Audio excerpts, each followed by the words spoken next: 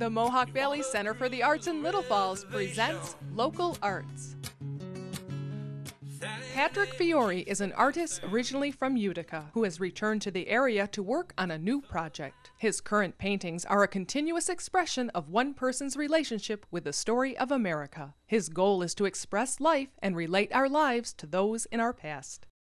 Um, I'm back up here because I love the area and I'm taking a year off from teaching to work on a project based on Howard Zinn's A People's History of the United States.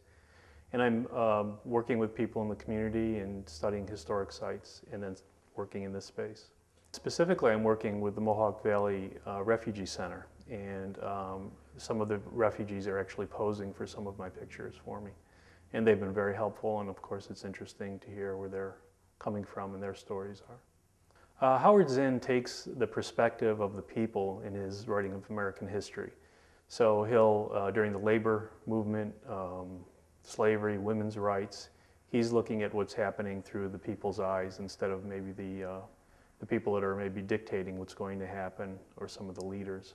It's interesting to me because that's what I kind of comment on in my own work. Um, beyond this history uh, project, I've been making social commentaries with my work for years. I also write, and either the writing in terms of poetry or the artwork will spur one idea on or the other. Sometimes I put the words and images together. Because I began illustrating uh, in New York years ago and did book covers, I would use a variety of subject matter to get a, an idea or a concept across. But then I just kind of gravitated back towards people because I thought that that's where you could get the most expression.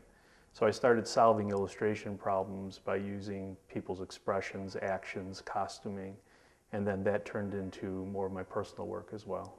I, I can't think of doing anything else. I mean, um, it's something that I'm just very inspired to do. I love to paint, and uh, there's always not enough time actually to do as much work as I'd like to. You can visit Patrick and experience his intriguing portraits during the Clinton Shopper Stroll the day after Thanksgiving from 10 a.m. to 9 p.m. in the village of Clinton.